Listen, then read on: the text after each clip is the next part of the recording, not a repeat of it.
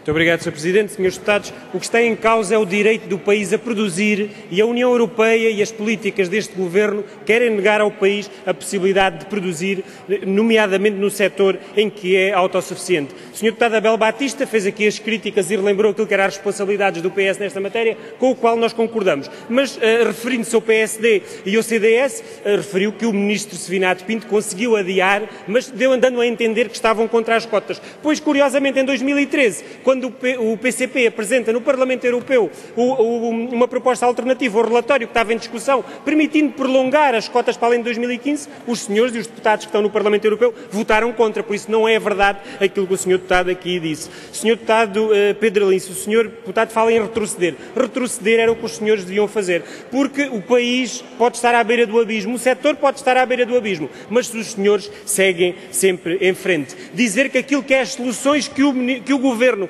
nos tem apresentado de mais organização, mais concentração, trabalhar na transformação e na exportação, não resolverão os problemas. Este é o setor mais organizado do país e dos mais organizados da Europa e mais e do do, daqueles que mais modernizou e, contudo, está a atravessar este problema. A concentração foi precisamente o que levou a este problema. A concentração na transformação e a concentração na distribuição que asfixiaram o setor produtivo.